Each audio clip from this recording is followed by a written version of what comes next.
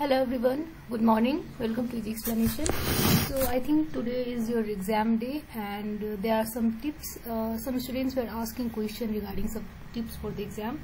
So first uh, tip is, uh, this video will be very short, okay. First tip is don't panic, okay. Don't panic during the exam or before going to exam because whatever you have studied you are going to remember that in exam. Second uh, tip is uh, please divide your time. Okay?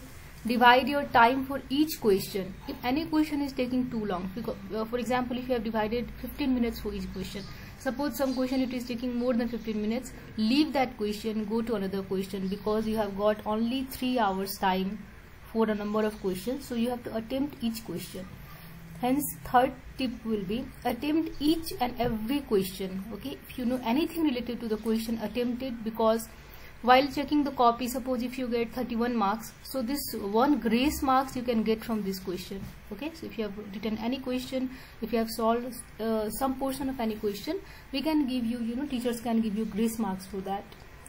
Next is uh, for C programming there are some tips that is uh, don't forget to give semicolon double quote and you know bracket curly braces and never write printf as capital print okay? Capital p. Many of the students they have you know they have got uh, this habit of writing if else like if and else no. This this all if you do this they are going to cut one marks for this or 0.5 as the wish of teacher okay and one question one uh, question was asked by a student that uh, if our program is wrong somewhere so is that we'll get zero marks?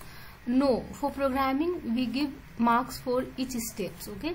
So it's not that if you have done some mistake here it's going to get no you are going to get stepwise marking.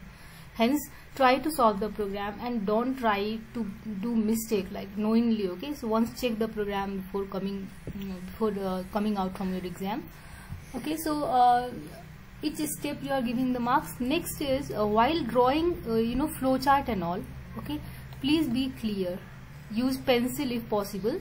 Don't uh, you know and if you are going to cut something for example it's wrong so don't cut like this. Just give a strike. It looks clean and you know uh, use pages. Don't try to you know uh, do rough work there only. You can do rough work at the end of the uh, you know page and all and uh, you know at the last uh, and most important please be confident because if you lose your confidence you are going to lose the, the idea of uh, answering the question also. So that's all for today. All the very best. All the very best. I hope this channel was you know uh, useful for you. So i hope all of you will pass with flying marks. Thank you and stay safe and good luck